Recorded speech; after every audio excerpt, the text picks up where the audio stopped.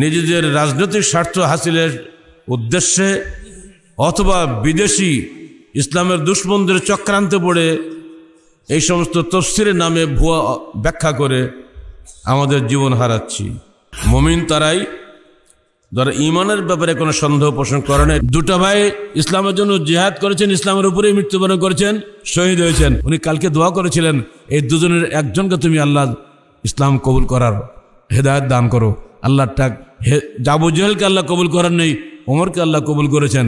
আল্লাহ রসুল কিন্তু মারের পথ নেন নেই, দোয়ার পথ গ্রহণ করেছিলেন। হাড্ডির উপর থেকে যত গোস্ত, শিরার উপর থেকে যত গোস্ত, চর্বি, সবগুলো ওই চিরুনি দিয়ে ছাড়িয়ে নেওয়া হলো আর বলা হলো, দিন ত্যাগ করো, দিন ত্যাগ করো।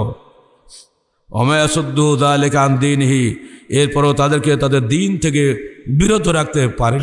নিবেদিত প্রাণ প্রতিজ্ঞাবদ্ধ একদল কর্মী ছাড়া কোনো সঠিক আদর্শ সমাজে প্রতিষ্ঠা করা সম্ভব নয় আহলেদিস আন্দোলন বাংলাদেশ আসুন পবিত্র কুরআন ও সহি হাদিসের আলোকে জীবন গড়ি আলহামদুলিল্লাহ ওয়াহদা والصلاة والسلام على من لا نبي بعده وبعد فقد قال الله تعالى في الكلام المجيد فأعوذ بالله السميع العليم من الشيطان الرجيم بسم الله الرحمن الرحيم إنما المؤمنون الذين آمنوا بالله ورسوله ثم لم يرتابوا وجاهدوا بأموالهم وأنفسهم في سبيل الله أولئك هم الصادقون سورة حجرات 15 নম্বর আয়াত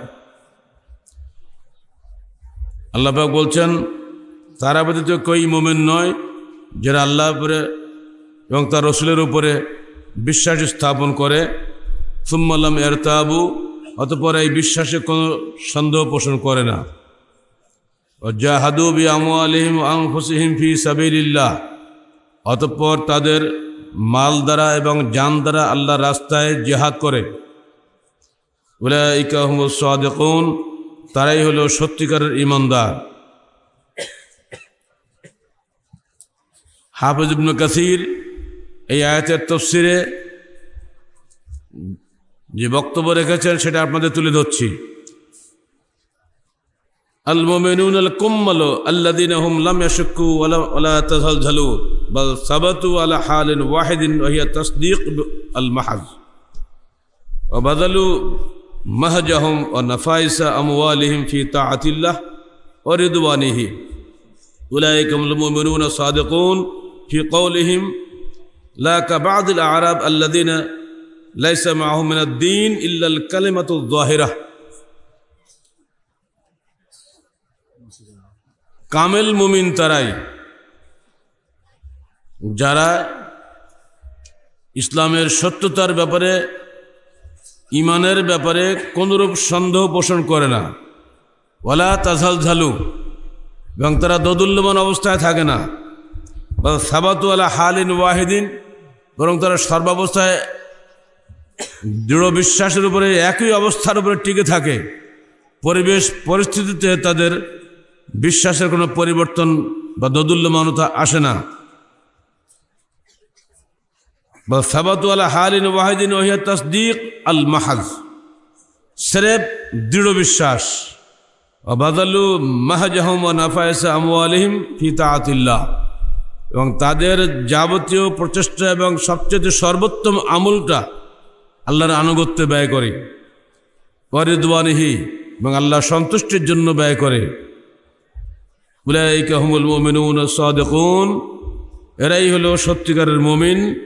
ফি কৌলিহিম তাদের কথায় আরাব আল্লাদিন ওই সমস্ত মানুষের মতো নয়, যারা সেরে মুখে প্রকাশ্যভাবে দিন জাহির করে, ভিতরে তাদের দিন নাই। এই ব্যাখ্যা হাফেজ কাসির দিয়ে গেছেন। সাতশো চুয়াত্তর হিজড়িতে তিনি মারা গেছেন। চোদ্দোশো সাঁত্রিশ হিজড়িতে আজকে আমরা কথা বলছি। অর্থাৎ এখান থেকে প্রায় সাড়ে ছয়শো বছর পূর্বেকার বা পৌনে সাতশো বছর পূর্বেকার এই তফসির আজও এই যুগের জন্য প্রযোজ্য। এই আয়াতটা নিয়ে বিভিন্ন জনে বিভিন্ন ব্যাখ্যা করেন। এই আয়াতের সামনে রেখে আজকে অসংখ্য তরুণ অকালে জীবন হারাচ্ছে। অসংখ্য তরুণ আত্মঘাতী হয়ে দুনিয়া থেকে বিদায় হয়ে যাচ্ছে। জেহাদের অপব্যাখ্যা করে জান্নাতের সুরসুরি দিয়ে একদল মুফাস্তের কোরআন বাংলাদেশ সহ পৃথিবীর বিভিন্ন দেশের হাজারো মুসলিম তরুণ, তরুণীকে জিহাদের নামে ঘর থেকে বের করে নিয়ে চলে যাচ্ছে। এবং তারা অবলীলায় হাসতে হাসতে জীবন দিচ্ছে আর ভাবছে আমরা জান্নাতে চলে গেলাম। কোনো আহলে সুন্নতল জামাতের কোনো মুফাসির এই আয়াতের ওই ব্যাখ্যা করেন নাই। আমরা নিজেরাই নিজেদের রাজনৈতিক স্বার্থ হাসিলের উদ্দেশ্যে অথবা বিদেশি ইসলামের দুশ্মনদের চক্রান্তে পড়ে এই সমস্ত তফসিরের নামে ভুয়া ব্যাখ্যা করে আমাদের জীবন হারাচ্ছি। অতএব মুসলিম তরুণরা সাবধান। মমিন তারাই ধর ইমানের ব্যাপারে কোনো সন্দেহ পোষণ করে না, এটা ঠিকই আছে। মমিন তারাই ধর ইমানের ব্যাপারে কোনো সন্দেহ পোষণ করে না, এটা ঠিকই আছে। তারা তাদের মাল দিয়ে এবং জান দিয়ে আল্লাহর পথে জিহাদ করে। জিহাদ অর্থ সর্বাত্মক প্রচেষ্টা, চূড়ান্ত প্রচেষ্টা। এই জিহাদ শুধুমাত্র তরবারে দিয়ে মানুষ হত্যা করা নয়। মুসলমানের জীবনের শুরু থেকে মৃত্যু পর্যন্ত জিহাদ করে যেতে হয়। কিসের বিরুদ্ধে? অন্যায়ের বিরুদ্ধে। ইসলাম বিরোধিতার বিরুদ্ধে। আল্লাহর বিধানের বিরুদ্ধে যারা, তারা তো অবশ্যই আল্লাহর বিধানের পক্ষের লোকদের সঙ্গে দ্বন্দ্ব সংঘাতে লিপ্ত হবে। কোনো অবস্থায় বাতিলের সঙ্গে আপোষ করবেন না যিনি। তিনি সর্বাবস্থায় বাতিলের বিরুদ্ধে জিহাদে লিপ্ত থাকেন। যিনি বাতিলের সঙ্গে হাত মিলান, সুযোগ মতো সবটাই করেন, এটাও ঠিক, ওটাও ঠিক বলেন, তিনি আদৌ কোনো জিহাদ করেন না। আর আপনি যদি বাতিলের সঙ্গে আপোষ না করেন, তাহলে আপনি সর্বাবস্থায় একজন মুজাহিদ। এর অর্থ এটা নয় যে মানুষ ধরে গলা কেটে জবাকে দিতে হবে, বোমা মেরে ইসলাম কায়েম করতে হবে। এই ভুল বোঝার কারণেই আমাদের ছেলেদের জীবন হারাচ্ছে। সব জায়গায় আপনারা দেখছেন, পত্রিকা খুললেই। সমাজ এবং সমাজকে, রাষ্ট্রকে এবং দেশকে শান্তিময় দেশে পরিণত করার জন্য সন্ত্রাসের বিরুদ্ধে জিহাদ দরকার আছে। মানুষকে বোঝানোর জিহাদ, মানুষের আকিদা পরিবর্তনের জিহাদ সার্বিকভাবে যত রকম প্রচেষ্টা সম্ভব, সব ধরনের প্রচেষ্টাকে জিহাদ বলা হয়। এ বিষয়ে আমাদের লিখিত এবং প্রকাশিত জিহাদ কেতাল বইটা আপনারা ভালো করে পড়বেন, একামতের দিন বইটা পড়বেন, সেখানে বিস্তারিত ব্যাখ্যা পাবেন।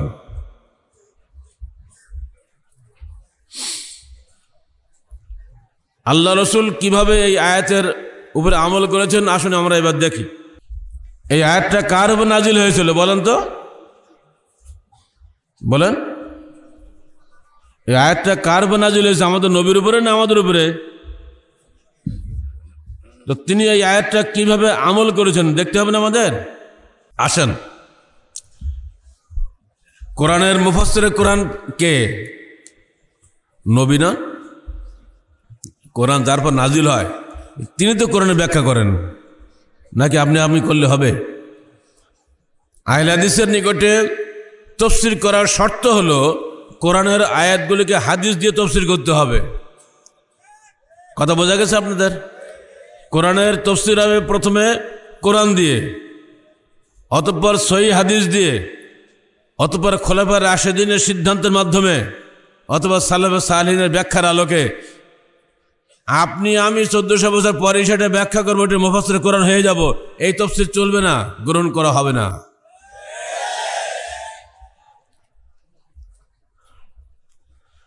এই আয়াতের যদি ব্যাখ্যা জিহাদ করা হয়তো এই জবাই করা কাজ হয়তো আল্লাহ নবী সবার আগে তার বাপদাদা চোদ্দুর জবাই করে দিতেন সবগুলোকে।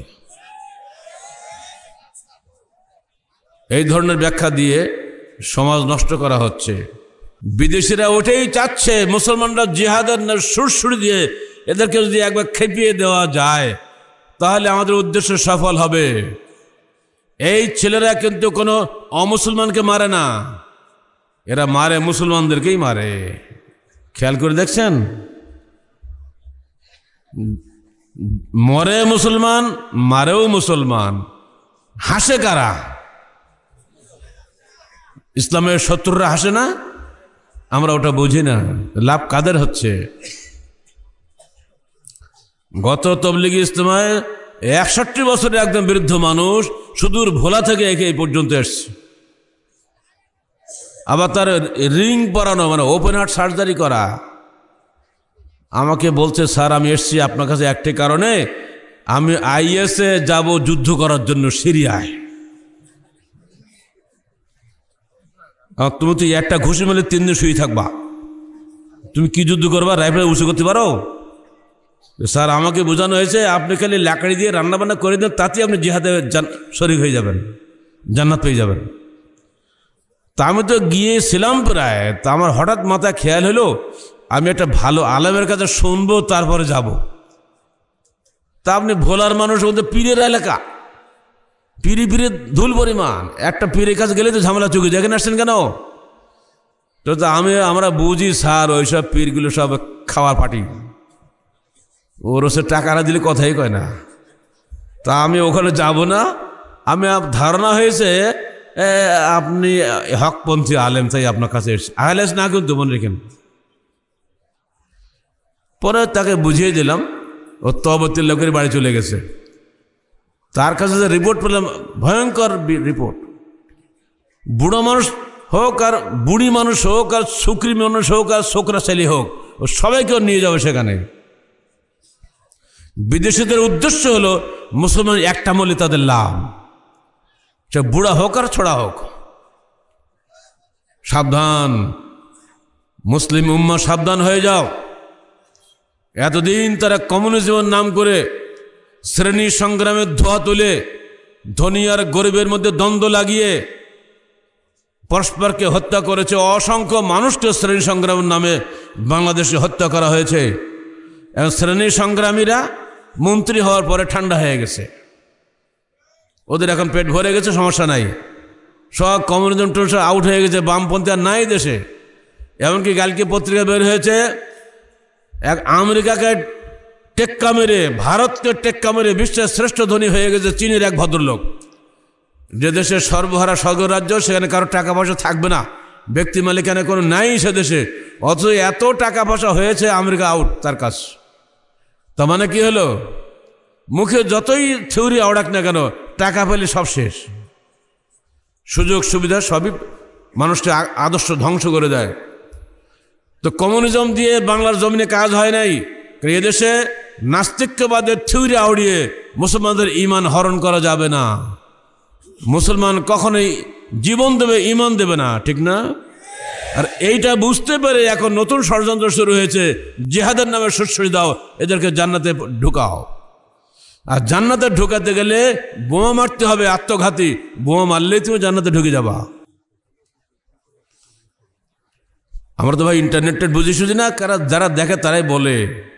বলছে, স্যার, ওদের একটা খলিফা হয়েছে। যে খলিফার কাছে পনেরো বছরে এক যুবক চলে গেছে। যার পরে বলছে, আমি জান্নাত পাওয়ার জন্য এসেছি আপনাদের এখানে যুদ্ধ করার জন্য। খলিফা তাকে বলেছে, ঠিক আছে, তুমি ওইখানে গিয়ে এই বোমাটা মেরে আসো। আত্মঘাতী বোমা। তুমিই মরবে আরও দশটা মরবে। তোমার জীবনের বিনিময়ে দশটা মানুষ মরবে। তারা কিন্তু ইসলামের শত্রু। শত্রু দশটা মেরে তুই যদি মরে যাও, তুমি জান্নাতে চলে যাবা। এখন ও সব ঠিকঠাক করে নিয়ে যাচ্ছে, হঠাৎ ওর মধ্যে খেয়াল হয়েছে, তাই তো। আমাকে উনি পাঠালেন মারার জন্য উনি যায় না কেন? কত ঠিক না? শুনছেন তো? ও ফেরত আসছে, হে খলিফা, আপনি তো আমাকে কোন নেকির কথা বললেন, ওখানে আমি গেলে তো আমি জান্নাতে চলে যাব। তা আপনি দুনিয়া বসে থাকবেন, আপনি চলেন, একসঙ্গে যাই। তখন খলিফা খেপে গেছে, আয় বেটা বেদব আমার পরে আবার কথা বলো। বলে বারে জান্নাতে যাবেন তো, আমি আপনাকে সে একসঙ্গে যাব। আপনি এখানে বসে গেলে আমার জান্নাতে পাঠাবেন আপনি যাবেন না। ওই ছেলে পালাইছে। কত অসংখ্য যুবককে এইভাবে ধ্বংস করে দিচ্ছে। এই জিহাদের ভুল অনুবাদ করি। সাবধান হয়ে যাও। আহলাদিস যুব সংঘ জেহাদ করে মানুষের জীবন পরিবর্তন করে দেয়, কেউ জীবন হরণ করে না। মাথা ব্যথা হলে গলা কাটতে হবে না, নাপা খেতে হবে বলেন। তোমাদের গলা কাটা ওষুধ আমরা দেই না, আমরা নাপা খাওয়া ওষুধ দেই। মাথায় ঢুকেছে বেদাত, বেদাতের বিরুদ্ধে সুন্নতের ওষুধ দেই। মাথায় ঢুকেছে ওরস, সেরেক শেরকের বিরুদ্ধে তৌহিদের মাস শুনে তোমাকে হেদায়ত করার জন্য চেষ্টা করি। মাথা যদি কেটেই ফেললাম তো হেদায়তটা করব কাকে? এই ধরনের অপব্যাখ্যা করে কোরআন হাদিস থেকেই দলিল নিয়ে কোরআন হাদিসের বিরুদ্ধে মানুষকে লাগানো হচ্ছে, অসংখ্য যুবক শেষ হয়ে যাচ্ছে। দেড় হাজার বছর পূর্বে রহমতুল্লিল আলমিন আমার নবী এটা বুঝতে পেরেই তিনি সেখানে হাদিস বলে গেছেন, একামত বইটা ভালো করে বাড়িতে গিয়ে পড়বেন। হাদিসগুলো আমরা ওখানে উল্লেখ করে দিয়েছি। তিনি বলছেন, আখেরি জমানায় তরুণ কিছু ছেলে আসবে। হাদিসুল আসনান, বয়স কম। তারা এত পরেজগার হবে, দাড়ি সুন্দর হবে, এত সুন্দর সালাত আদায় করবে। ইহা করুন সালাত হকুম্বি সালাতিম সিয়াম হকুম্বি সিয়ামহিম তাদের, তোমাদের সিয়াম তাদের চাইতে হীন হবে। তোমাদের সালাত তাদের চাইতে হীন হবে। তারা সবসময় কোরআন তলাওয়াত করবে। কিন্তু কোরআন তাদের কণ্ঠনালী অতিক্রম করবে না, অর্থাৎ কোরআন তারা কিছুই বোঝে না। তারা মুসলমানদেরকে মারবে, অমুসলমানদেরকে ছাড়বে। সাবধান থেকো, যদি সেই দিন আমি পাই কাতলা আদ, আমি ওদেরকে আদ কমের মতো টুকরা টুকরা করে হত্যা করব। আল্লাহ রসুল এই হাদিস, বখারি, মুসলিম এখনও ভাসছে। তোমরা এগুলো পড়ো না? খালি মানুষ মারাগুলো গেলে পড়ো খালি হ্যাঁ? বিদেশি চক্রান্তের খপ্পরে পড়ে গেছিলে। আফগানিস্তানের তালেবানরা। তালেবান মানে কি ছাত্র? মাদ্রাসার ছাত্র। এদেরকে টাকা দিয়ে, পয়সা দিয়ে, জিহাদের নামে উস্কে দিয়ে আমেরিকা এদেরকে লাগিয়েছিল রাশিয়ার বিরুদ্ধে। মনে নেই আপনাদের? এ তো সেদিনের ঘটনা। যেমনি রাশিয়া আফগানিস্তান থেকে পাত্তাড়ি গোটালো এইবার ওই তালেবান হয়ে গেল সন্ত্রাসী। যেখানে পাও তালেবান মারো। আমেরিকার থেকে উড়িয়ে এসে উসামা বিন লাদেনকে মেরে দিল পাকিস্তানে বসে। অথচ তো ওদেরই লোক। আজও মুসলমানদের বিভিন্ন দেশে ওই কুচক্রি, মকজুব এবং দল্লিন ইহুদিন আসারার দল, ওরাই মুসলমানদেরকে ধোকা দিয়ে মুসলিম দেশগুলিকে জঙ্গি রাষ্ট্র প্রমাণ করার জন্য মুসলমানদের ছেলেদেরকে টাকা দিয়ে, পয়সা দিয়ে, কিছু ধর্মনেতাকে তাদের পিছনে লাগিয়ে দিয়ে উৎসাহিত করে জিহাদের ময়দানে নিয়ে যাচ্ছে। তারা এদেরকে ধ্বংসের নায়ক।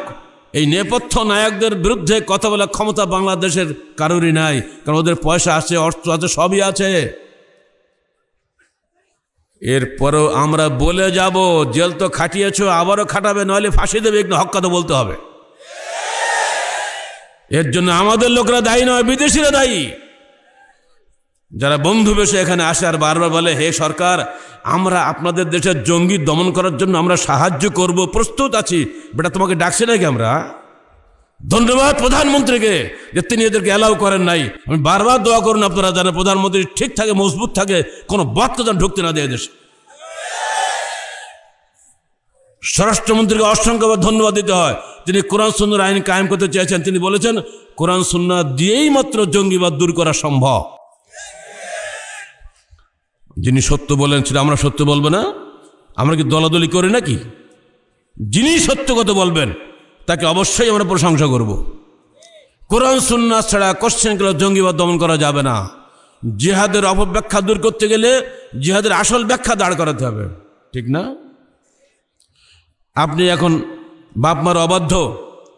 আপনাকে হাদিস বলেন, বাবা বাপমার বাধ্য হলে তুমি আখেরাতে এই পাবা। আপনি তবা করলেন, আপনি বাধ্য হয়ে গেলেন। এটাকে জিহাদ হলো না? যে বাপ মা মার খাচ্ছিল আপনার কাছে, সে এখন বাপ মার পায়ে ধরে ক্ষমা চাইলেন, এটাকে সাংঘাতিক জিহাদ হলো না? আপনি সুদ করছিলেন দুদিন আগে, সুদের আয়াত শুনে, সুদের হাদিস শুনে আপনি সুদ থেকে তবা করলেন। হাদিস কি শুনলেন? মেয়েরাজ আল্লাহ রসুল গিয়েছিলেন, গিয়ে জিবরিল তাকে জাহান্নাম দেখালেন। সেখানে গিয়ে একটা রক্তের নদীর ধারে তিনি গেলেন। নদীর মাঝখানে মানুষ ডুবছে হাবুডুবু খাচ্ছে ও সাঁতার কেটে কেটে কিনারে আসতেছে। আবার কিনার থেকে পাথর মেরে তাকে আবার ফিরিয়ে দিচ্ছে নদীর মাঝখানে। ও কোনো ক্রমেই নদীর কিনারে উঠতে পারছে না। এই দৃশ্য দেখে আল্লাহ রসুল বললেন, হে জিব্রিল, এই লোকটা কে? আল্লাহ জিব্রিল বললেন, এই লোকটা হলো সুৎখৌর এ দুনিয়াতে মানুষের রক্ত চুষে জোকের মতো আজকে তাকে রক্তে ভাসিয়ে দেওয়া হয়েছে। সে দেখুক তার সারা জীবনের অঞ্চিত সম্পদ, সারা জীবনের টাকা পয়সা আজকে রক্তের আকারে তাকে গ্রাস করেছে। ও দেখুক তার শাস্তিটা কি। এই হাদিস জানার পরে কেউ মানুষকে সুদ খাবে?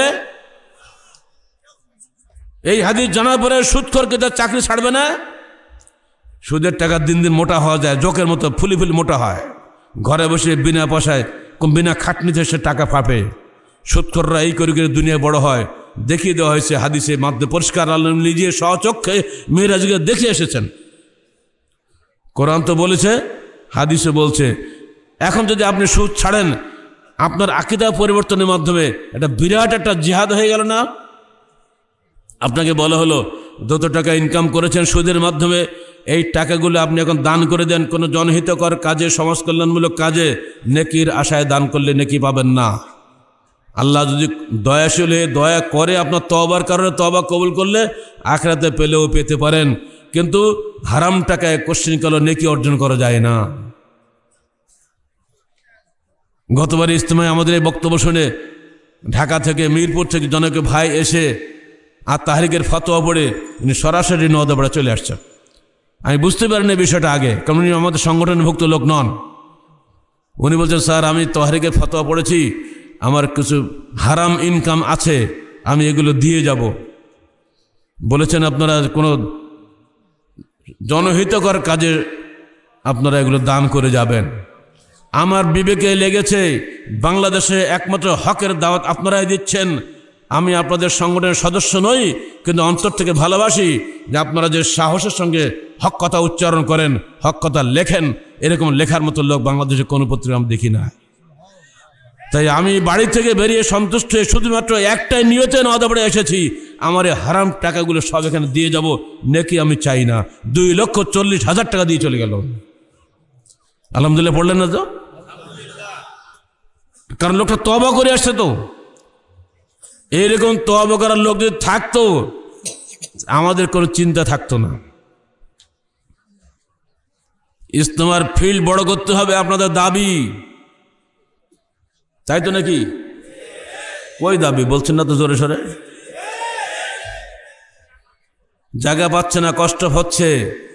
অনেকে চলেও গিয়েছেন, আবার অনেকে মহব্বতে চলেও আসছেন। আমাকে কয়জন বলল, স্যার, সারা রাত শুইতে পারে নাই। না পেরে হেঁটে হেঁটে আওয়াজ শুনছি যতদূর মাইকে আওয়াজ পাওয়া যায়, ততদূর হেঁটেছি, হেঁটে হেঁটে কম করে ফজর পর্যন্ত আটে, এসে গেছি। এই যে অবস্থা মেয়েরা বলছে, আমাদের জায়গা দিতে পারব না, তো আনলেন কি জন্য এখানে? যত বড় আসামি আমার সাথে আজকে এখানে কেউ নাই। আপনারা কি চান আমির জামাতকে আসামি বানিয়ে এখানে বাড়ি চলে যাবেন? আমারও দাবি আছে আপনাদের কাছে। আমাকে একশো বিঘে জমি কিনে দেন। আর কেউ কথা নেই। এইবার এটুক বললে তো আল্লাহ খুশি হয়। ইনশাল্লাহ বলতেও ভয়। শেখ মুজিবের দেশে বাস করি ইনশাল্লাহ দিয়ে তো বাংলাদেশ হয়েছে, তাই না? তাই ইনশাল্লাহ বলেন, আমরা করব ইনশাল্লাহ। দুই এক বিঘাতে হবে না, এক একশো বিঘে দিতে হবে। মানুষ ভরে যাবে, ইনশাল্লাহ, কোনো সমস্যা নেই। এবং সেখানে আবার একটা মার্কাজ হবে। শুধু নদাবড়া বসে থাকব নাকি? সারা দেশে মার্কাজ করব, যেখানে জায়গা পাবো সেখানে চলে যাব। দারুল হাদিস বিশ্ববিদ্যালয় হবে। সারা দেশে হাদিসপন্থী লোকেরা দারুল হাদিস বিশ্ববিদ্যালয়ের আলোকে এই সিলেবাস নিয়ে মাদ্রাসা তৈরি করবে। আপনার ছেলে ওই আকিদায় ঘরে বসে গড়ে উঠবে। সবাইকে নদাবড়া আসলে কি আমরা জায়গা দিতে পারব নাকি? ঢাকাতে হবে, রাজশাহীতে হবে চিটাগাঙ্গে হবে, বরিশালে হবে, রংপুরে হবে, সিলেটে হবে, যত বিভাগীয় শহর আছে, এরপরে যত জেলা শহর আছে, সব জায়গায় যদি দারুল হাদিস বিশ্ববিদ্যালয়ের শাখা প্রতিষ্ঠান গড়ে ওঠে, তাহলে কি আমাদের উপকার বেশি হবে না? এরপরও বছরে একদিন আমাদের বসার জন্য বড় জায়গা লাগবে। ওইটাই হবে আপনাদের আমার ধারণা করছিলাম আমি একশো পঁয়ষট্টি বিঘা জমি বায়না করার উপক্রম করছিলাম, সে, সেই সময় অ্যারেস্ট হয়ে গেলাম। দু হাজার চার সালে, কথা বলছেন? একশো পঁয়ষট্টি বিঘা জমি আমার প্রায় বায়না হয়ে গেছিল, আর আর যদি আমাকে আল্লাহ যদি আমাকে আর পঞ্চাশ দিন বা এক মাস বাইরে রাখতেন, হয়তো হয়ে যেত। কিন্তু সেগুলো চলে গেছে, তাই বলে কি আকাঙ্ক্ষা কি করতে আপত্তি আছে নাকি আমাদের? আকাঙ্ক্ষা ব্যক্ত করে গেলাম। হায়াতে কুলাবে কিনা জানি না। আপনারা চেষ্টা করবেন। আহলাদিস আন্দোলন, বাংলাদেশে নির্ভেজাল ইসলামী আন্দোলন, এর জন্য যা কিছু প্রয়োজন সব কিছুই আপনারা করবেন। আল্লাহ পাক যেন আমাদের সবাইকে এটা কবুল করেন।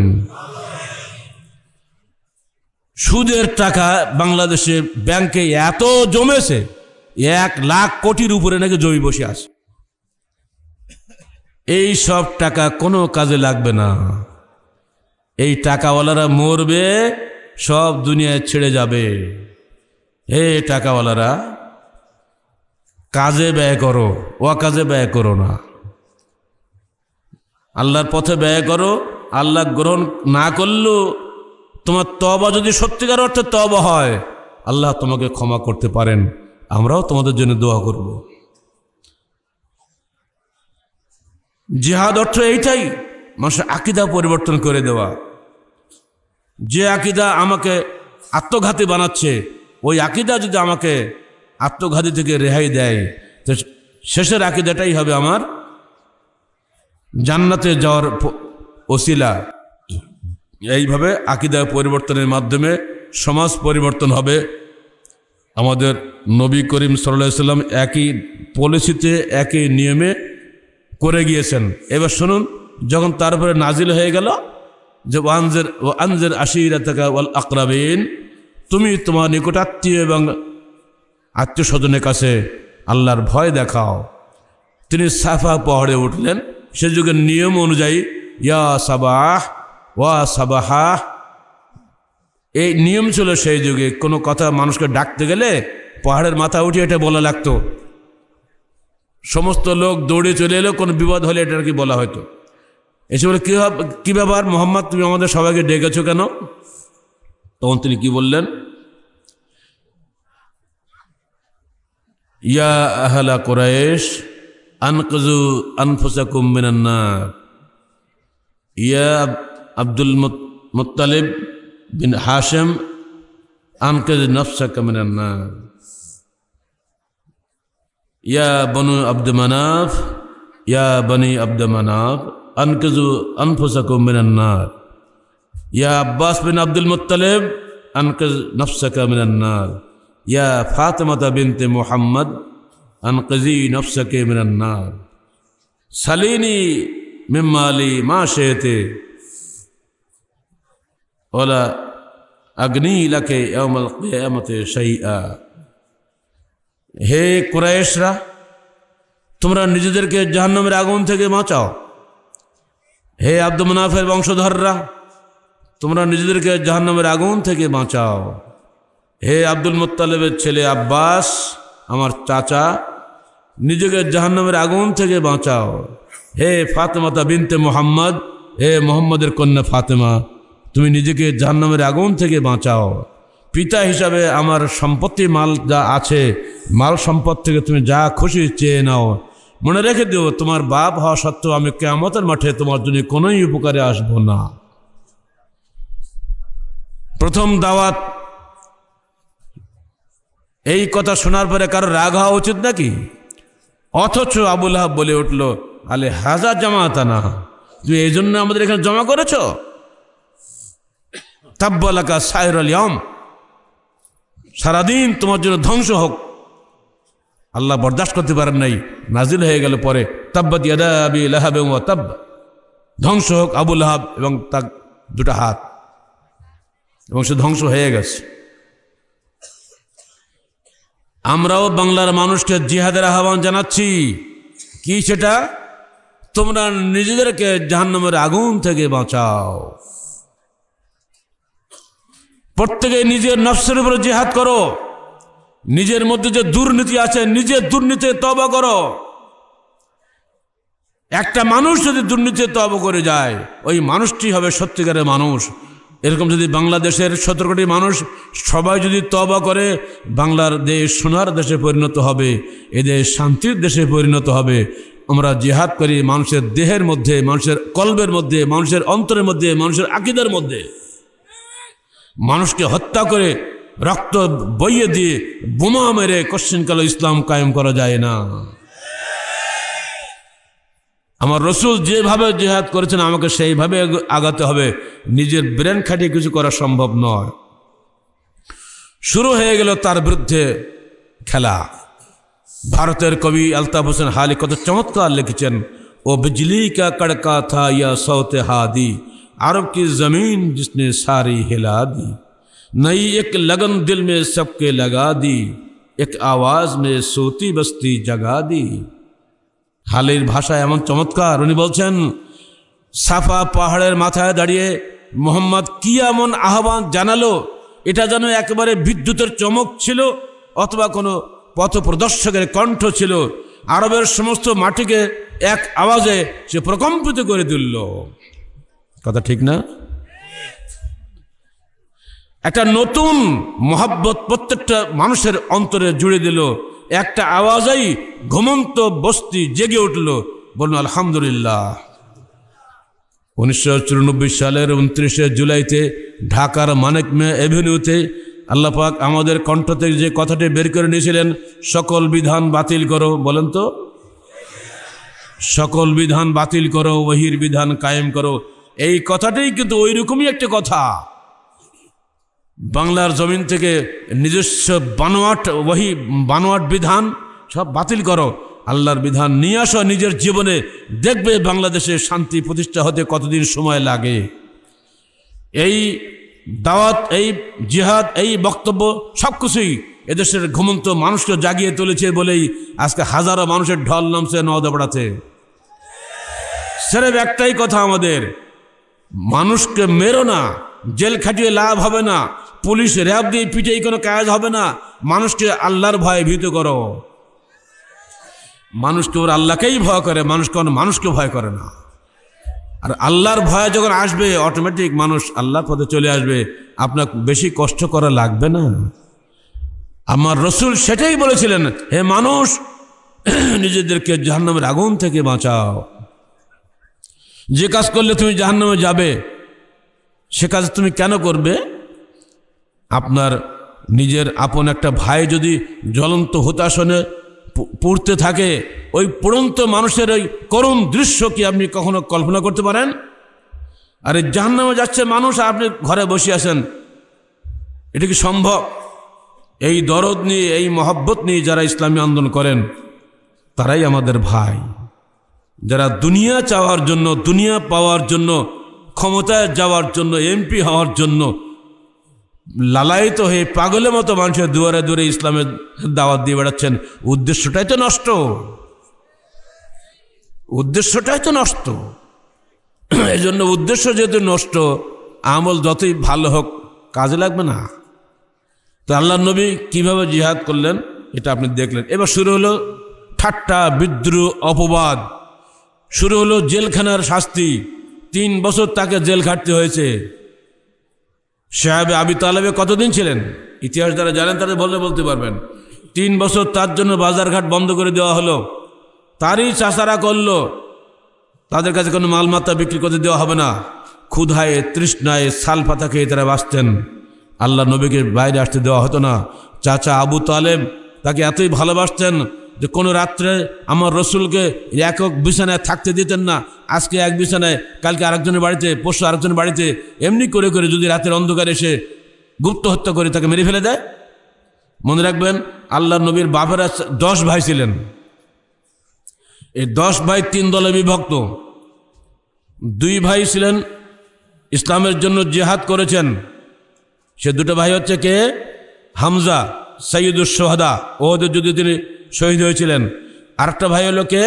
আব্বাস বিন আব্দুল মুতালেব তিনি শুরু থেকে শেষ পর্যন্ত আল্লাহ রসুলের সহযোগী ছিলেন। যদিও প্রকাশ্য ইসলাম কবুল করেছেন ফতে মক্কার কয়েকদিন আগে, অষ্টম হিজড়িতে। আর এক একজন ভাই ছিলেন, চাচা ছিলেন। তিনি আজীবন তাকে সাহায্য করেছেন, কিন্তু ইসলাম কবুল করেন নাই। জানেন এই ভাই এই চাচাটাকে বলেন এটা ক্লাস তো। আবু তালেব। দুটো ভাই ইসলামের জন্য জেহাদ করেছেন, ইসলামের উপরেই মৃত্যুবরণ করেছেন, শহীদ হয়েছেন। সে দুটো ভাইকে হামজা আর আব্বাস। আর একটা চাষা ভাই না, এটা চাষা বলছি। আর একটা চাষা তার জন্য জীবন দিয়েছেন, যত রকম সাহায্য সবই করেছেন, কিন্তু মৃত্যুর মুহূর্তে তিনি ইসলাম কবুল করেন নাই। তিনি কলমা পাঠ করেন নাই। ইনিকে আর একটা চাষা শুরু থেকেই শত্রু শত্রু হয়েই মরেছে, ওটাকে? ওটা সবাই জানে হ্যাঁ? ওইটা সবাই জানে। এটা হলো আবু লাহাব। আবু জাহেল কিন্তু আপন চাষা না। ওটা চাষা তো চাষা এখন আপন রক্তের চাষা হলো দশটা মানে বাপ চাষা মিলে। তার মধ্যে বাপ তো চলে গেল আগেই। চাষাদের মধ্যে আব্বাস এবং কি বললাম, হামজা। এ দুজন ইসলাম কবুল করেছিলেন। আর সাহায্য করেছে কিন্তু ইসলাম কবুল করেন নাই। ইনি হলেন আবু তালেব। আর শুরু থেকে এই দুশ্মন, ইনি হলেন আবুল আহাব আপনারা মনে করেন যে ভালো মানুষই হবে, তা নিজের লোক তার বিরুদ্ধে বলে কেন? বলেন সবাই আপনারা। আজকেও আমাদেরকে এই বিষয়টা বুঝতে হবে। নিজের ঘরের লোকরা পর্যন্ত মানুষকে চিনতে পারে না। ফলে আমাদের রসুলকে বহু কষ্ট করতে হয়েছে। শুরু হলো বিদ্রুপ। বিদ্রুপ শুরু করল প্রথম তার চাচা এবং চাচি।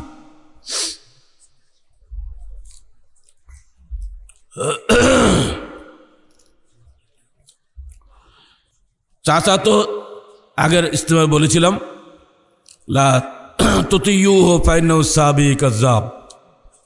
তোমরা কখনোই এই মোহাম্মদের অনুসরণ করো না, কারণ সে হলো ধর্মত্যাগী এবং মহামিথ্যাবাদী চাষা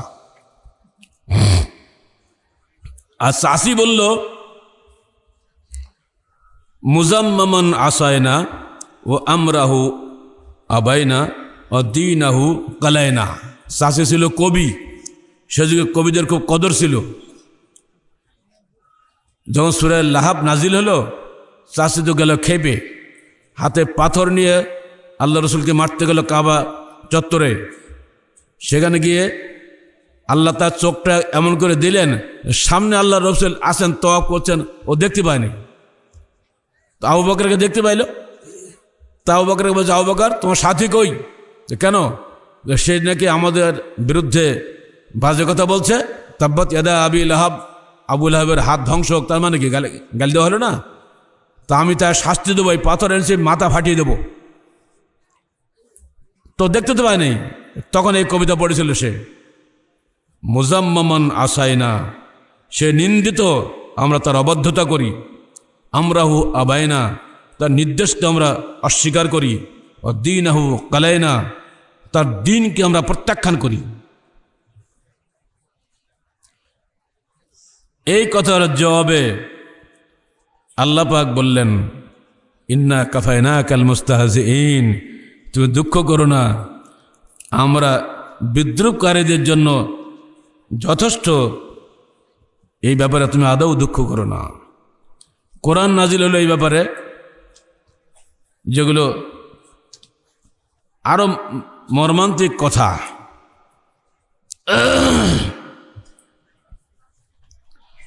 انظر كيف ضربوا لك الامثال فضلوا فلا يستطيعون سبيلا এই বিদ্রোহের জবাবে আল্লাহ বললেন দেখো কিভাবে তোমার নামে এরা মিথ্যা কথা রটাচ্ছে কত বাজে কথা বলছে দেখো ওরা নিজেরা পথভ্রষ্ট হয়েছে কোনো ক্রমেই ওরা স- সঠিক পথ পেতে আর সক্ষম হবে না এবার আল্লাহ রসুল কি বললেন? জবাবে? জবাবগুলো শিখে রাখেন, কাজে লাগবে। প্রায় তো আপনাদের গাল গাল শুনতে হয়। আমার কাছে অনেকে দেখা করেছে, স্যার, এই গাল, সেই গাল খাচ্ছি, এই বাধা দিচ্ছে, কষ্ট হচ্ছে, কত যে শুনলাম আর সারাদিন পড়ে। আহলে হলেই মানুষের গা জ্বালা করে। খ্রিস্টান হলে মানুষ গা জ্বলে না। কেন ভাই, এত রাগ কেন? আপনারই একটা ভাই সই হাদিস মোতাবেক সালাদ আদায় করছে, এত খেপেন কেন? মসজিদ পুড়িয়ে দিচ্ছেন মসজিদে বের করে দিচ্ছেন, মামলা মোকদ্দমা করছেন। হাজার হাজার মানুষ খ্রিস্টান হচ্ছে দৈনিক বাংলাদেশে। তাদের কারও বিরুদ্ধে তো আপনি মামলা করেন না। কাউকে ধরে পিটান লাগান না। বুঝতে হবে, হক আছে বলেই তো বাধা আসতেছে। কি, আপনারা কি মনে করেন? হকের পথে যত বাধা, বাতিলের পথে কোন বাধা আছে নাকি? বাধা নাই তো। আল্লাহ বরদাস্ত করেন নাই এই মহিলার এই কবিতার।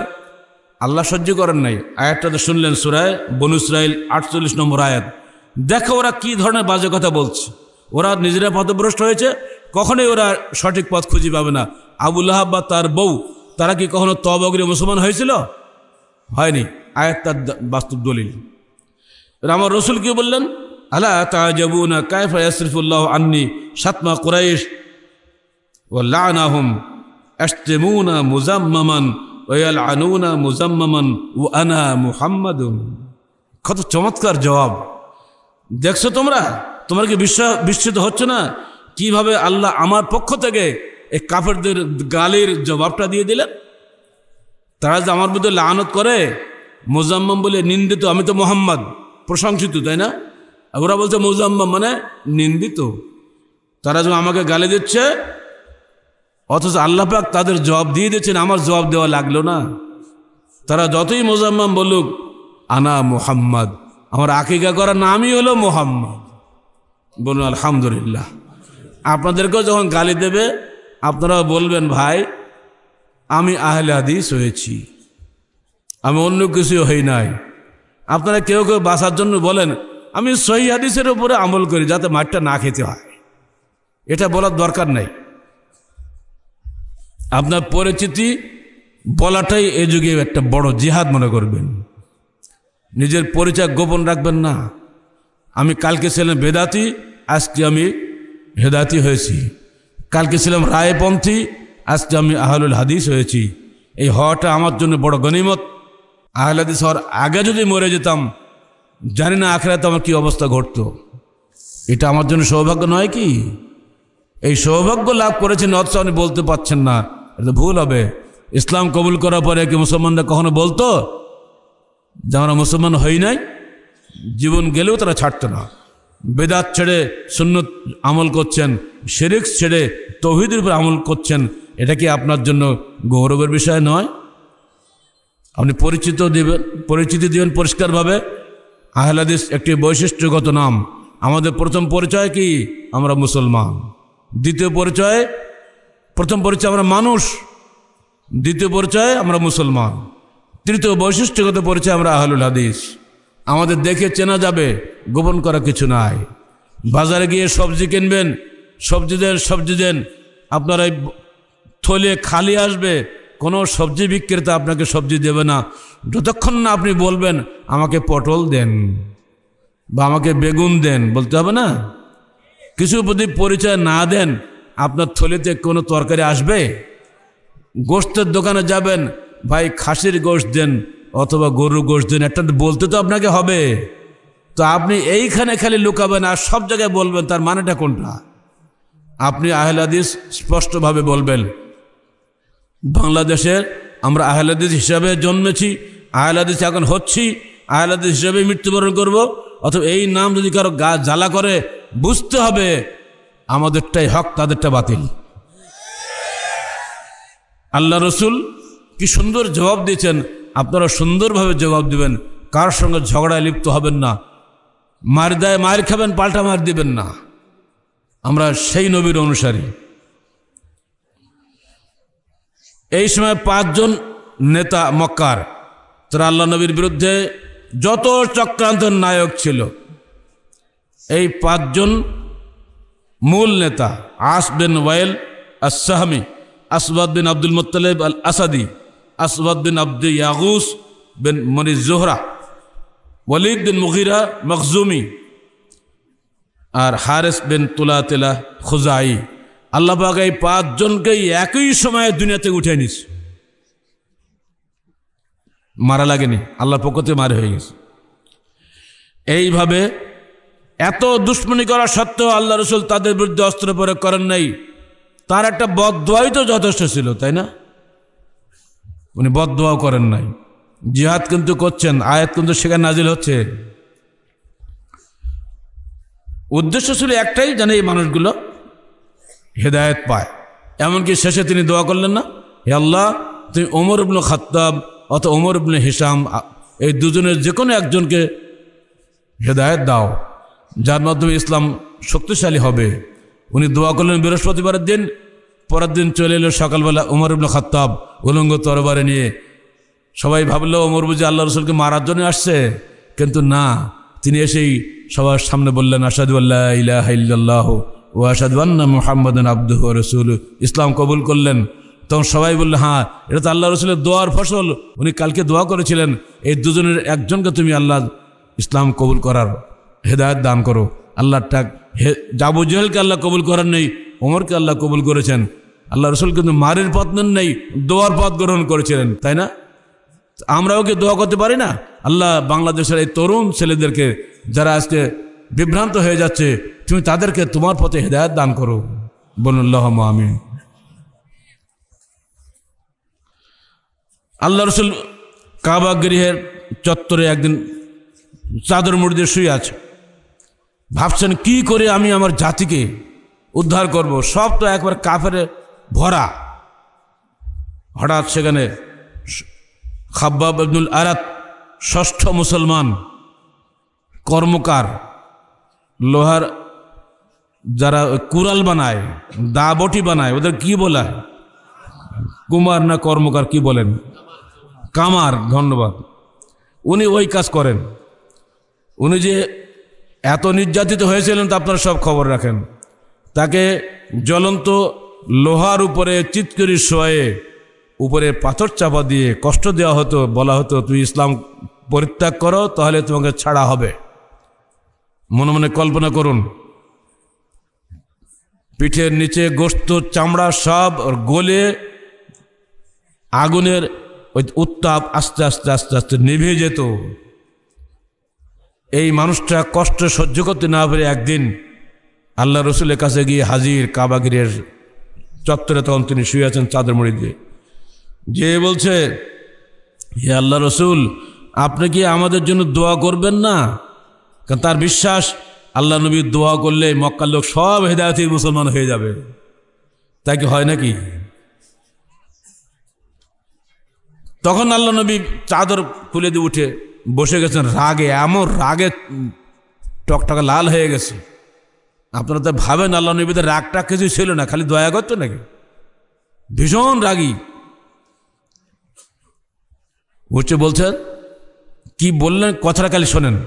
কানার রাজুল ফিমান কাবলাকুম ইউখফার লাহু বিল আরদে, ফায়ুজাল ফিয়ে ফায়ুজা বিল মিনসার ফায়ুদা আলা রাসিহি, ফায়ুশাক্ক।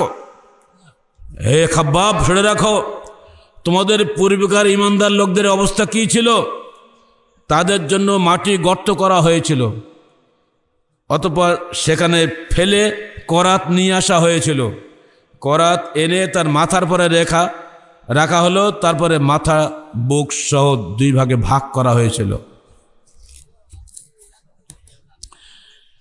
দুই ভাগে ভাগ করা হলো অমায় আসদ্দুহু দালেকে আনদিনহি এরপরেও ওই ব্যক্তি দিন থেকে বিরত হয় নাই। বলুন, আলহামদুলিল্লাহ। ওয়ুমশত হাদিদ। লোহা চিরুনি দিয়ে গায়ের চামড়াগুলো টান দেওয়া হলো। মা দুন আল্লাহমিহি মিন আজবিন আও আসাবিন। হাড্ডির উপর থেকে যত গোস্ত শিরার উপর থেকে যত গোস্ত চর্বি সবগুলো ওই চিরুনি দিয়ে ছাড়িয়ে নেওয়া হলো আর বলা হলো, দিন ত্যাগ করো, দিন ত্যাগ করো। অমায়াসুদ্দু দালেকা আন দিনহি। এরপরও তাদেরকে তাদের দিন থেকে বিরত রাখতে পারেনি। মনে রেখো খাব্বাব হাদাল আমরা হাত্তা অবশ্যই আল্লাহ তার এই দিনকে পূর্ণতা দান করবেন। এমন অবস্থা হবে যে সুদূর ইয়ামনের রাজধানী সানআ থেকে হাজরা মাউত পর্যন্ত একজন সওয়ারি একাকি যাবে। লাই আখাফ ইল্লাল্লাহ। আল্লাহ ছাড়া সে কাউকে ভয় করবে না। আবার যে আলা গানামিহি অথবা তার শাকপাল হারিয়ে যাওয়ার ভয় সে করবে, কিন্তু কোনো মানুষকে সে ভয় করবে না। বলা কিন্নাকম তাস্তা জেলুন তোমরা বড় ব্যস্ততা দেখাচ্ছ কেন এত? অবস্থা একটু অপেক্ষা করো, ধৈর্য ধারণ করো। এটা তিনি বলছেন মক্কি জীবনে বখারি শরীফ তিন হাজার ছশো বারো নম্বর হাদিস পড়ে দেখবেন বাড়ি গিয়ে। অথবা সিরাত রসুল পড়ে দেখবেন, পাবেন এগুলা। এই রসুল মক্কা থেকে মদিনায় হিজরত করলেন। সেখানে গিয়েও কিন্তু একই কথাই আমরা দেখতে পাচ্ছি। আদিবেন হাতেম বসে আছেন তার পাশে, প্রখ্যাত খ্রিস্টান দানবীর হাতেম তাইর নাম আপনারা সবাই জানেন। হাতেম তাইর ছেলে আদিবন হাতেম, বাবার পরে তিনি ছিলেন নেতা। তার বোন সাফানা মুসলমান হওয়ার পরে ভাইকে ইসলাম কবুল করানোর জন্য শুধু সিরিয়া থেকে ভাইকে নিয়ে আসলো মদিনায়। এবং বলা হলো, তুমি যাও, ইসলাম কবুল করো। গেলেন আল্লাহ রসুলের দরবারে। দেখেই বলছে, ইত্রাহ আনকা হাদাল বাসান, তোমার গলা যে স্বর্ণের কুরুশটা আচড়ে ফেলে দাও, ওটা তো মূর্তি। আমরা সবাই কোন টাই পরি, দেখেন না, এটা কুরুশ মূর্তির অনুকরণ নাকি করা হয়? কুরুশটা ফেলে দাও। ফেলে দিলেন। এরপর উনি কাছে গেলেন।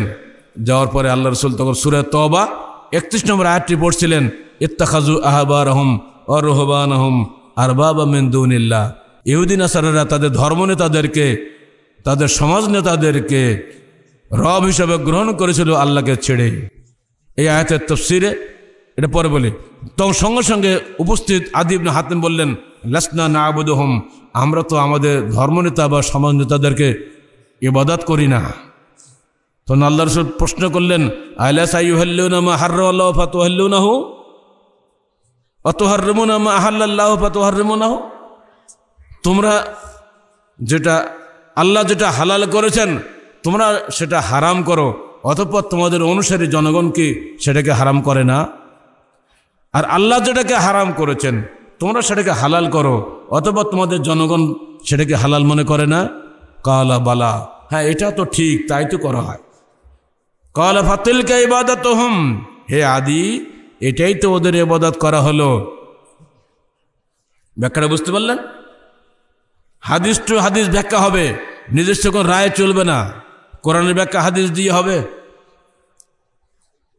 আদি ইবনে হাতেম স্বীকার করলেন, আমরা কি স্বীকার করি? আমাদের জিদ এবং হটকারিতে এত বেশি আমরা নিজেরাই আল্লাহকৃত হারামকে হালাল করছি এবং আমরা সমস্ত জনগণ সে হারাম মেনে চলছি। কেয়ামতের মাঠে আল্লাহ পাকে এমনি করে জিজ্ঞেস করেন যে তোমরা আল্লাহকে ছেড়ে তোমাদের নেতাদের ইবাদত করতে, তো আমরা কি জবাব দিয়ে করব? ইবন আব্বাসকে এই প্রশ্ন করা হয়েছিল।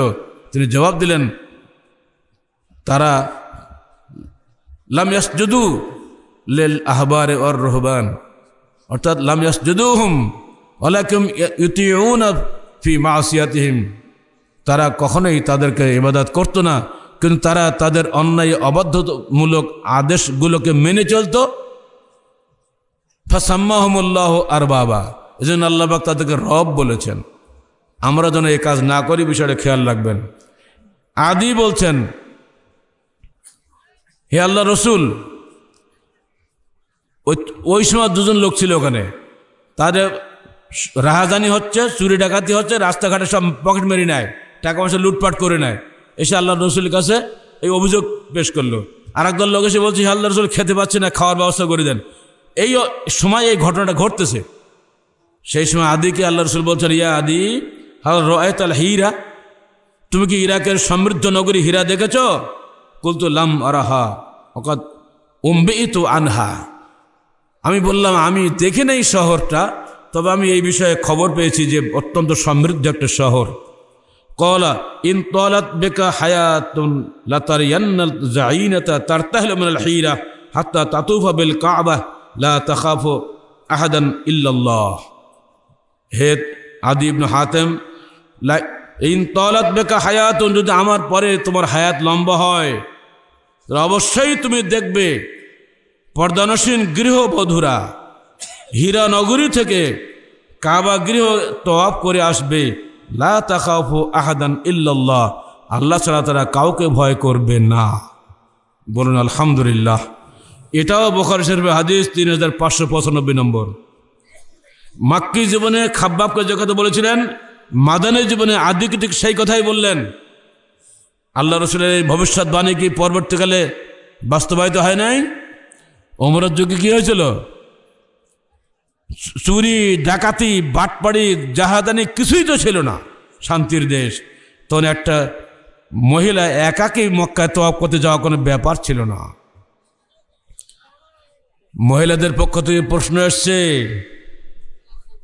কোন কোন বক্তা আপনাদেরকে ভয় দেখিয়েছেন যে তোমরা আহলাদিস আন্দোলন করো, পাশের গ্রামে চলে যাওয়া দাওয়াত নিয়ে।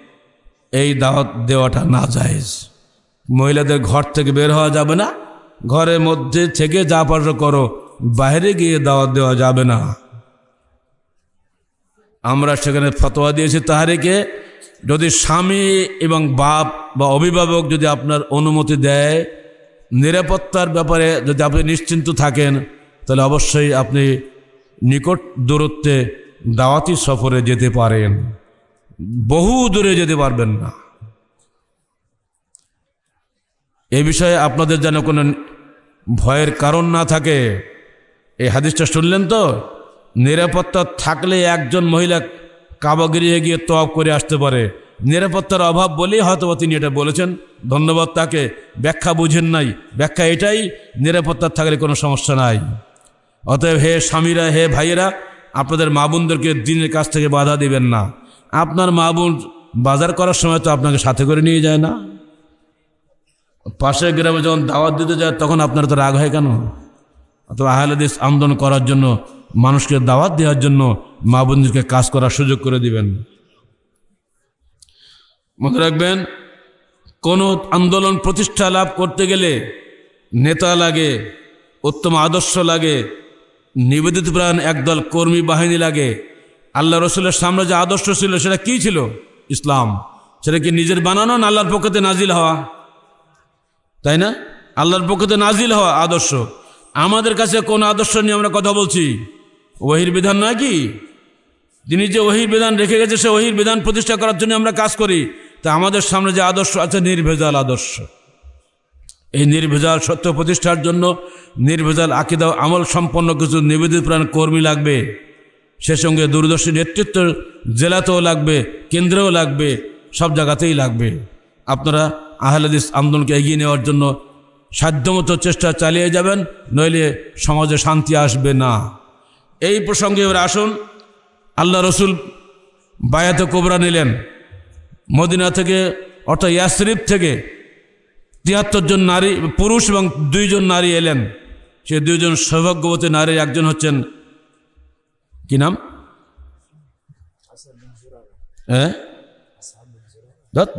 নারী বলছো তুই পুরুষ বলছো কেন? নুসাইবা বিনতে কাব। নুসাইবা বিনতে কাব।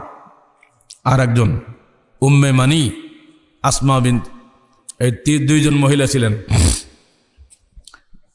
তারা এসে বললেন, আমরা শুনেছি, আখেরি যেমন নবী আপনি।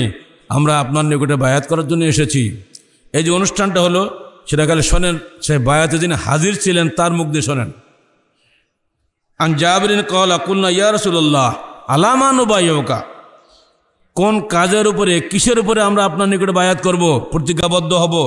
কল আলা সামে ফিন্নাসাতে কাসল। সচ্ছলতায়, অসচ্ছলতায়, সর্বাবস্থায় তুমি আমার আনুগত্য করবে, কথা শুনবে। দুই নম্বর ও আলা নফকাতে ফিল ওয়াল সর্বাবস্থা তুমি আল্লাহর পথে ব্যয় করবে। তিন নম্বর, ওয়ালাল আমরেবিল মারুফে ও নাহিয়ানুল মনকার। সৎ কাজের আদেশ এবং অসৎ কাজ থেকে নিষেধ করবে। চার নম্বর, ওয়ালা আন তাকুলু ফিল্লাহে লা তুমি আল্লাহর পক্ষে কথা বলবে, এই ব্যাপারে কোনো নিন্দুকে নিন্দা বাদকা তুমি তক্কা করবে না। পাঁচ নম্বর ওয়ালা আন তানসুরুনি এজা কদম তো ইয়াসরেবা, ফতামনাউনি মিম্মা তামনাউনা মিনহু আনফুসাকুম ওয়া আজওয়াজাকুম ওয়া আবনাআকুম ওয়া লাকুমুল জান্নাহ। যদি আমি তোমাদের ওখানে হিজরত করে যাই, তাহলে তোমরা আমার আমার জীবন, আমার স্ত্রী, কন্যা সবাইকে অনুরূপভাবে হেফাজত করবে, যেভাবে তোমরা তোমাদের নিজেদের স্ত্রী, কন্যাদের সন্তানদেরকে হেফাজত করে থাকো। অফি রওয়ায়তেন আন আওয়াদ বিন সামেদ কল ওয়ালা আন লা নুনাজিয়াল আমরা আহলাহু এবং কখনই তোমরা নেতৃত্ব নিয়ে ঝগড়া করবে না ছয়টা পয়েন্টের উপরে বায়াত হলো। উনি শর্ত দিলেন, নেতৃত্ব নিয়ে ঝগড়া ইসলামে নাই। নেতৃত্ব নির্বাচনে যে প্রথা এখন চলছে এদেশের সামাজিক অশান্তির জন্য এটি হলো সবচেয়ে বড় কারণ। সবচেয়ে বড় কারণ হচ্ছে এটাই। যদি নেতা পৃথক অসংখ্য নেতা হয়, অসংখ্য দল হবে না? নেতৃত্বের বিভক্তি, সমাজের বিভক্তি। আগে তো তবু অন্তত এমপি হইতো, এখন চলে গেলে ইউনিয়ন কাউন্সিল নির্বাচনে। ঘরে ঘরে মানুষ মরবে এখন। ঘরে ঘরে অশান্তি হবে। স্বামী, স্ত্রী, দুই দল যদি হয়, ওদেরও তালাক হয়ে যাবে। দুই দল হলেই তালাক হবে তা না ওরা নিজেরা তালাক দিবে। অবস্থা দিন দিন খারাপের দিকে যাচ্ছে। আল্লাহর অবাধ্যতায় আমরা এত দুঃসাহসী হয়ে গেছি। সাবধান হওয়া ভালো, যারা নেতৃবৃন্দ আছেন। এগুলি ইসলামের পথ নয়। ইসলামের পথ হলে পরামর্শের পথ। পরামর্শের মাধ্যমে নেতা নির্বাচন হবে। সকলের সমর্থন কোনো আবশ্যিক নয়। দেশের যারা জ্ঞানী গুণী রাজনৈতিক নেতৃবৃন্দ আছেন, আপনারা বসুন। কাকে দেশের নেতা করা উচিত হবে? নিজেরা বসুন। নিজেদের মধ্যেই গোপনে পরামর্শ করে ভোটাভুটি করুন। ওমর ফারুকের দৃষ্টান্ত সামনে রাখুন। দরজা তিন দিন বন্ধ রাখা হয়েছিল। একমত না হওয়া পর্যন্ত দরজার সামনে দুজন প্রহরী রাখা হয়েছিল যেন ঘর থেকে মজলিস লোকরা বের হতে না পারে। ইসলামী খেলাফত নেতৃত্ব নির্বাচন বইটা পড়ে দেখবেন বাড়িতে গিয়ে। তাদেরকে ঐক্যমত হতে হয়েছে, তারপরে তারা ঘর থেকে বের হয়েছে। আপনারা কি পারেন না? মারামারি করে লাভটা কি? আমরা হলো নিরীহ মানুষ। আমাদের এখানে পাঠাপাঠি করে আমাদের মেরে ধরে করে লাভ আছে। এইগুলো করে করে সমাজটা অশান্তির দাবানল চলছে অত সাবধান। কালু ফৈন্না না খুজুয়ালা মুসিবতুল আমওয়ালে ও কাতুল আশরাফে ফামালানা বেজালকে ইয়া রসুল্লাহ হে আল্লাহ রসুল, যদি আল্লাহ আপনার যদি আপনার কাছে বায়াত করি, তাহলে এর বিনিময় হবে এই, আমাদের টাকা পয়সা নষ্ট হবে। আমাদের নেতৃবৃন্দ নিহত হবে। এর বিনিময়ে আমরা কী পাবো ইয়া রসুল্লাহ তখন কলা আল জান্না তোমরা জান্নাত পাবে। কালু উপসুদ এদাক হে আল্লাহ রসুল, আপনি হাত বাড়িয়ে দিন। বাসাতা ইয়াদাহু, তিনি হাত বাড়িয়ে দিলেন। ফা বা হো তারা বায়াত করল। এরপর তারা বললেন অল্লাহে লা নাজার হাজিল বায়াহ ওলা নাস্তাকিলুহা। অফুর আয়াতিন আনহো ফবল্লাহ লা নাদাউ হাজিল বায়াহ আবাদা ওলা নাসলুবহা আবাদা। রাহ আহমদ বিন ইসনাদিন সাহি সিরাত রসুল পড়ে দেখবেন দুশো চোদ্দ পৃষ্ঠা ঘটনা পাবেন। বোঝা গেল এর দিয়ে যে নিবেদিত প্রাণ প্রতিজ্ঞাবদ্ধ একদল কর্মী ছাড়া কোনো সঠিক আদর্শ সমাজে প্রতিষ্ঠা করা সম্ভব নয়। কথা বোঝা গেছে তো? আল্লাহর বিধান মানবে, এই মর্মে আপনি আল্লাহর নামে বায়াত গ্রহণ করবেন। যদি আপনার মধ্যে প্রতিজ্ঞা না থাকে, তা আপনাকে দিয়ে কোশ্চেন কালো, আল্লাহর বিধান প্রতিষ্ঠা করা কি সম্ভব হবে? এই জন্য মক্কায় বসেই আল্লাহ রসুল এই বায়াতটা আগে নিলেন। এরপরে তিনি মদিনায় হিজরত করলেন।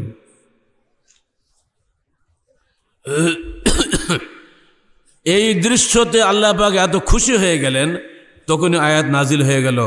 ইন্নাল্লাহ হাসতারমিনাল মুমিনিনা আনফুসাহুম ওয়া আমওয়ালাহুম বিআন্না লাহুমুল জান্নাহ। নিশ্চয়ই আল্লাহ খরিদ করে নিয়েছেন মুমিনদের। জীবন এবং তাদের মাল সম্পদ জান্নাতের বিনিময়ে। এই যে বিষয়টা, এরপর ইকাতিলুনা ফি সাবিলিল্লাহ, ফায়াকতুলুনা ওয়া ইউকতালুন ওয়াদান আলাল্লাহি হাক্কান ফিত তাওরাত ওয়াল ইনজিল ওয়াল কোরআন। তারা আল্লাহর পথে সংগ্রাম করবে, লড়াই করবে, তারা নিজেরা মারবে এবং মরবে।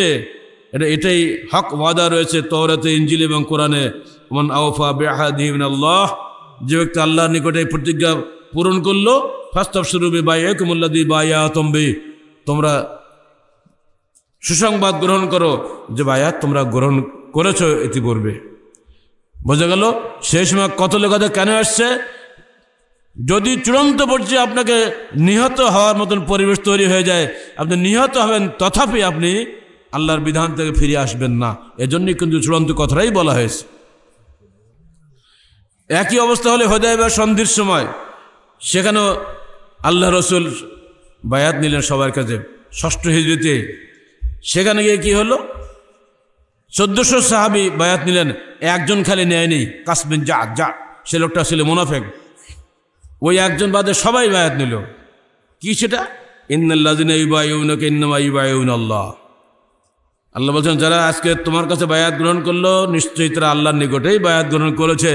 আদুল্লাহ ফৌকা এদিহিম আল্লাহর হাত তাদের হাতের উপরে রয়েছে। ফমন নাকাসাদ যে ব্যক্তি বায়াত ভঙ্গ করল ফাইনামা ইয়ান কুতু আলা নফসি, সে তার নিজের ক্ষতি নিজে করল। মন আউফা বেমা আহাদ আলাইহিল্লাহ, আলাইহুল্লাহ ফসাইউতি আজরান আদিমা যে ব্যক্তি তাদের অঙ্গীকার পূর্ণ করল, আল্লাহ পাক সত্তর তাকে মহাপুরস্কারে পুরস্কৃত করবেন।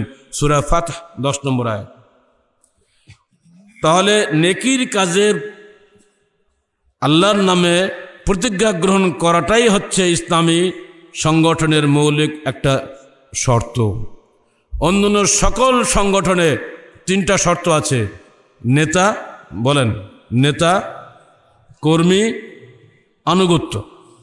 ইসলামী সংগঠনে আরেকটা বাড়তি আছে, বায়াত। ওইসব সংগঠনের উদ্দেশ্য হলো দুনিয়া, আর ইসলামী সংগঠনের উদ্দেশ্য হচ্ছে আখেরাত। আর এই জন্য এখানে বায়াতের প্রশ্ন আসে, আল্লাহর নামে, বান্দার নামে কি বায়াত হয় নাকি? এই সুন্নতি সাংগঠনিক তরিকা বাংলাদেশে নাই। আহলাদিসদের মধ্যে আগে ছিল, পরে উঠে গেছিল, আবার আমরা চালু করে দিয়েছি। মুর্দার সুন্নত জিন্দা করার জন্য যদি কোনো নেকি পাওয়া যায়, আল্লাহ যেন আমাদেরকে সেটা দান করেন। কীভাবে লাইলাহিল্লাহ কায়েম করবেন? তার বাস্তবতা হচ্ছে আপনাকে অবশ্যই জামাতবদ্ধভাবে এগিয়ে যেতে হবে। একাকি পারবেন না। সেজন্য আল্লাহ রসুল মক্কা থেকে মদিনায় হিজরত করলেন। সেখানে গিয়ে তিনি সমর্থক পেলেন। তাদের মাধ্যমে দিনের প্রতিষ্ঠার লাভ সম্ভব হলো। মনে রাখবেন, মক্কায় সব নাজিল হয় নাই। মক্কায় শুধু পাঁচক্ত সালাদ ফরজ হয়েছিল। কিন্তু মদিনায় গিয়ে প্রথমে দ্বিতীয় হিজরতেই শ্যাম ফরজ হয় জাকাতের নেশাব ফরজ হয়, তারপর অষ্টম হিজরতে গিয়ে হজ ফরজ হয়। এগুলো কিন্তু সব মদিনায় গিয়েই হয়েছে। অতএব আপনাকে দিনের প্রতিষ্ঠা দানের জন্য অবশ্যই সঙ্গবদ্ধভাবে এগিয়ে আসতে হবে। এই প্রসঙ্গে আল্লাহ রসুল বলছেন, আল জামাআত রহমতুন আল ফরকত আজাব জামাতবদ্ধ জীবন হচ্ছে রহমতের জীবন, আর বিচ্ছিন্ন জীবন হচ্ছে আজাবের জীবন। আপনারা কোন জীবন বেছে নেবেন? আজাবের জীবন নেবেন? তাহলে এখন একটু তাজা হওয়া লাগবে। এক একজন তো এক এক দল করেন, তাই না? সব দল ভেঙে দিয়ে জান্নাত পাওয়া যায়, যেদিকে গেলে সেদিকে আসতে হবে। আপনার বিবেচনার পর রইল, আমরা কাউকে ডাকি না। এটা না করলে নিজের পরিবারও আপনি হারিয়ে যাবেন। আপনার পরিবারকে জান্নাতে যাওয়ার জন্য চেষ্টা করে দিন। প্রতিজ্ঞাবদ্ধ হতে হবে আপনাকে। আপনার সমাজকে ফেরানোর জন্য প্রতিজ্ঞাবদ্ধ হতে হবে আল্লাহর নামে। তবেই আল্লাহ পাক আপনাকে সাহায্য করবেন। ছোট্ট হাদিসটা মুখস্থ রেখে বাড়ি যান। বলুন আমার সাথে, আল জামায়াত জোরে বলেন, আল জামায়াত রহমাতুন অল ফোরকাত আজাবুন চারটে শব্দ হচ্ছে না? এবার দুটো শব্দ, একটা হাদিস বলি। ইয়াদুল্লাহ আলাল জামা আল্লাহর হাত রয়েছে জামাতের উপরে, বিচ্ছিন্ন ব্যক্তির উপরে নয়। এই হাদিসগুলো কিন্তু আহলে বলে, ব্যাখ্যা উল্টাপাল্টা করে।